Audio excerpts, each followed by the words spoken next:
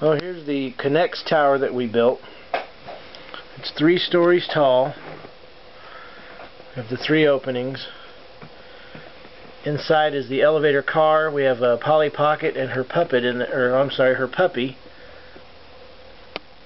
We've got a series of pulleys up here at the top. And we also have brass rods in there that guide the sides of the elevator car so that it doesn't twist while it's going up and down. Here's the motor. It's a stepper motor we bought from SparkFun. And all the parts except for the brass rods and the little metal bracket that the motor mounted on are, are made up of, from K'nex.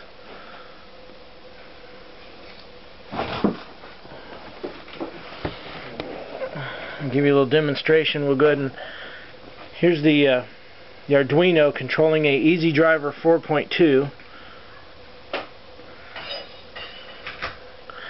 and I will give it the down command. And the car goes down to the first floor. This is a preliminary program. What we eventually wish to do is have three push buttons where you can choose which floor you want to go to. And by pushing one, two, or three it will take the car to that floor. Uh, I was pretty impressed with the controllability of it. In other words, right where we set it to stop, it's stopping.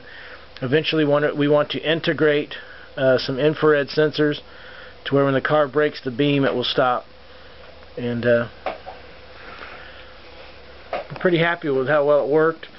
It was very easy to hook up and uh, I need to draw up a little print so that I can remember how to hook it up. I have to look at the blueprint they sent with it all the time. Anyway, that's our K'nex elevator, Polly Pocket, and her puppy dog.